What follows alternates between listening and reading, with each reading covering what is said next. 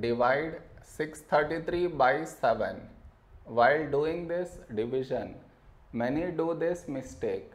What is the mistake that they do? I will let you know. But before that, we should frame it in this way 633 and 7 here. This is your step 1. Next, here we have 6 and here 7. 6 is smaller than 7. So we should take two numbers 63.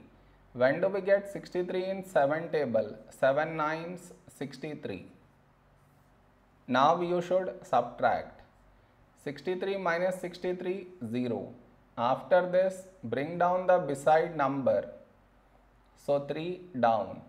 After this step the mistake happens and the mistake is this. Here we have 3 and here 7. 3 is smaller than 7.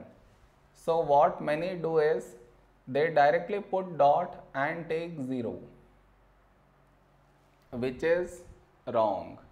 Why is it wrong? Because just now you brought this number down and in the same step you want to put dot and take 0 which is wrong.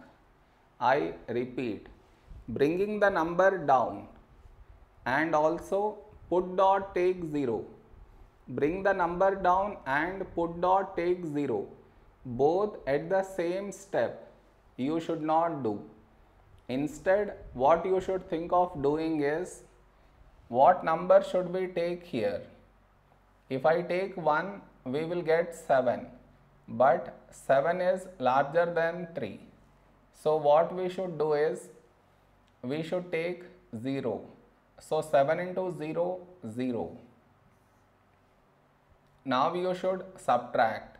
3 minus 0 3. Over here we did not bring any number down. And 3 is smaller than 7. So now you can put dot and take 0. So 30. A number close to 30 in 7 table is 7 fours 28.